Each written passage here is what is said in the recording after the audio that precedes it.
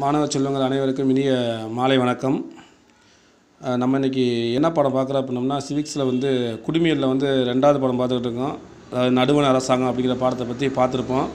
அதனுடைய தொடர்ச்சி தான் நம்ம இன்றைக்கி பார்க்கக்கூடிய டாபிக். என்ன டாபிக் அப்படின்னோம்னா நீதித்துறை. நான் முன்னாலேயே சொல்லியிருப்போம் நம்ம வந்து அதாவது மத்திய அரசு வந்து பார்த்தோம்னா ஒரு மூன்று பிரிவு சொன்னோம் நம்ம வந்து. அதாவது மத்திய அரசா நடுவண் அரசு அப்படிங்கிறது எது அப்படின்னோம்னா ஒன்று குடியரசுத் தலைவர் பாராளுமன்றம் இன்னொன்று நீதித்துறை. இந்த நீதித்துறை உச்சநீதிமன்றம் இந்த நீதித்துறை வந்து எங்கே இருக்குது அப்படின்னம்னா அதை பார்ப்ப அந்த டாபிக் தான் பார்க்க போகிறோம் நம்ம.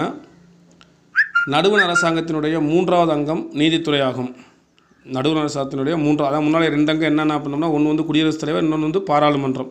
மூணாவது என்ன அப்படின்னம்னா நீதித்துறை. இந்த நீதிமன்றம் நீதித்துறை பார்த்தா அப்படின்னா குடிமக்களினுடைய உரிமைகளையும் சுதந்திரத்தையும் பாதுகாப்பது நீதித்துறை முக்கிய பங்கு வகிக்கிறது. நமக்கு ஏதாவது உரிமைகள் அல்லது சுதந்திரம் வந்து பறிக்கப்படும் போது நம்ம எங்கே போய் வந்து நிலைநாட்டுறா பண்ணோம்னா நீதிமன்றத்தை போய் வந்து நான் நிலைநாட்டுறோம்.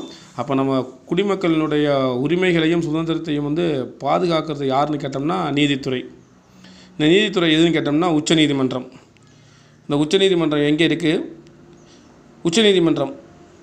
இந்திய அரசியலமைப்பு சட்டத்தின் பாதுகாவலன் உச்சநீதிமன்றமாகும். அதாவது த கார்டியன் ஆஃப் கான்ஸ்டியூஷன் இந்திய அரசியலமைப்பு சட்டத்தினுடைய பாதுகாவலன் யார் அப்படின்னம்னா உச்சநீதிமன்றம்.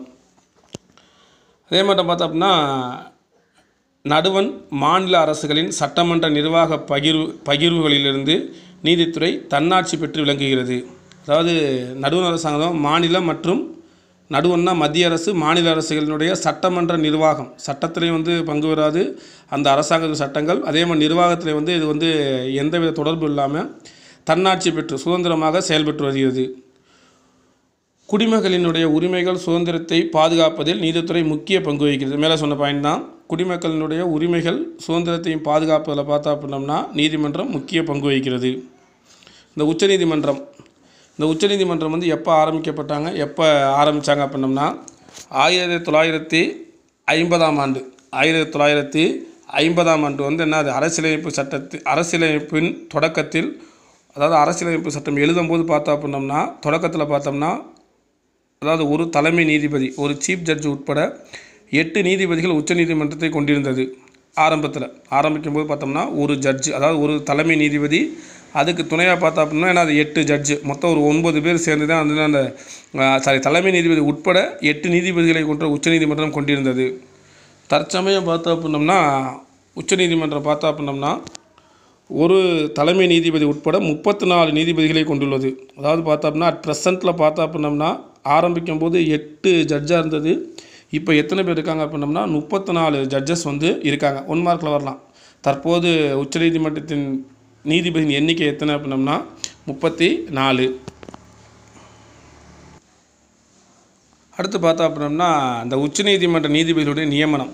இந்த நியமனம் எப்படி பண்ணுறாங்க அப்படின்னம்னா அவர் ஒரு உச்சநீதிமன்ற நீதிபதியாக இருக்கிறவர்.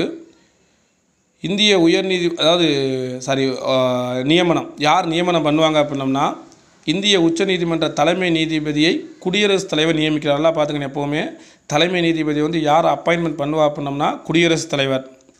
அவர் மட்டும் கிடையாது மற்ற இருக்கக்கூடிய முப்பத்தி நாலு முப்பத்தி மூணு நீதிபதிகளையும் பார்த்தோம்னா குடியரசுத் தலைவர் தான் என்னது அதாவது மற்ற நீதிபதிகளை தலைமை நீதிபதியை தலைவராக கொண்ட மூத்த நீதிபதிகள் குழுவின் ஆலோசனையின்படி குடியரசுத் தலைவர் நியமிக்கிறார். அப்போ அந்த ஜீப் ஜட்ஜை சொல்கிறத வச்சு அவங்க ஒரு டீம் இருப்பாங்க. அந்த டீம் வந்து கன்சல்டிங் பிரகாரம் பார்த்தா அப்படின்னம்னா மொத்தம் எத்தனை பேர் இருக்காங்க அப்படின்னம்னா முப்பத்தி நாலு பேர் இருக்காங்க. இந்த முப்பத்தி நாலு பேரையும் வந்து யார் நியமனம் பண்ணுறா அப்படின்னம்னா யார்? குடியரசுத் தலைவர் தான் நியமனம் பண்ணுறார் அடுத்து பார்த்தா அப்படின்னம்னா உச்சநீதிமன்றத்தினுடைய நீதிபதியினுடைய தகுதிகள். இவர் தகுதிகள்னு பார்த்தா அப்படின்னம்னா யாராக இருக்குன்னு எல்லாருமே ஆக முடியாது. இவர் ஃபஸ்ட்டு இந்திய குடிமகனாக இருக்க வேண்டும். ஐந்தாண்டுகள் உயர்நீதிமன்றத்தில் நீதிபதியாக பணிபுரித்தல் வேண்டும். அதாவது ஹைகோர்ட் ஒவ்வொரு ஸ்டேட்லேயும் இருக்கும். அந்த மாதிரி ஹைகோர்ட்டில் பார்த்தோம் அப்படின்னம்னா ஐந்து ஆண்டுகள் வந்து என்ன ஒன்று நீதிபதியாக வந்து பணியாற்றியிருக்க வேண்டும். அப்படி இல்லை அப்படின்னம்னா பத்தாண்டுகள் உயர்நீதிமன்றத்தில் வழக்கறிஞராக செயலாற்றித்தல் வேண்டும். பத்து வருஷம் ஜட்ஜாக இருக்கணும். அப்படி சாரி அஞ்சு வருஷம் ஜட்ஜாக இருந்திருக்கணும். அப்படி இல்லை அப்படின்னம்னா அட்வொகேட்டாக பார்த்தா அப்படின்னம்னா பத்து வருஷம். அதாவது பத்தாண்டுகள் பார்த்தோம்னா உயர்நீதிமன்றத்தில் ஹைகோர்ட்டில் பார்த்தா அப்படின்னம்னா பத்தாண்டுகள் என்ன பண்ணிருக்கணும் வழக்கறிஞராக செயல்பட்டிருக்க வேண்டும்.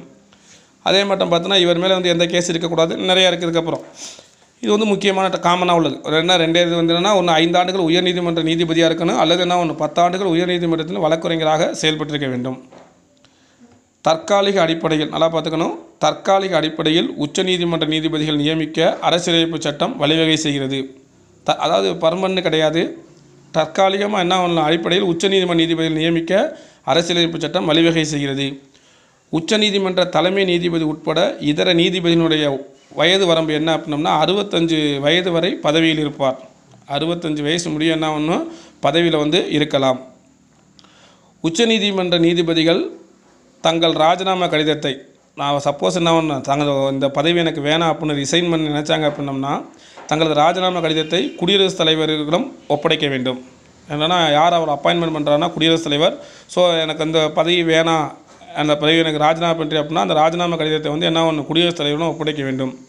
அதே மாட்டம் பண்ணோம்னா பெருங்குற்றங்கள் ஏதாவது ஒரு ஜட்ஜு வந்து என்ன ஒரு நீதிபதி வந்து ஏதாவது குற்றம் செஞ்சார் அப்படின்னம்னா அந்த குற்றங்களை வந்து என்ன பண்ணலாம் அப்படின்னா நாடாளுமன்றத்தில் வந்து கூட்டி நாடாளுமன்ற ஈரவையிலையும் வந்து அந்த குற்றம் நிரூபிக்கப்பட்டால் அதன் மூலம் என்ன பண்ணலாம் அப்படின்னம்னா அந்த உயர்நீதி நீதி தலைமை நீதிபதி என்ன நீதிபதி வந்து பதவி நீக்கம் வந்து செய்யலாம். இதனுடைய தலைமையகம் எங்கே இருக்குது அப்படின்னம்னா புதுடெல்லி. இதனுடைய தலைமையகம் எங்கே இருக்குது அப்படின்னம்னா உச்சநீதிமன்றத்தினுடைய தலைமையகம் எங்கே இருக்குது அப்படின்னம்னா புதுடெல்லி.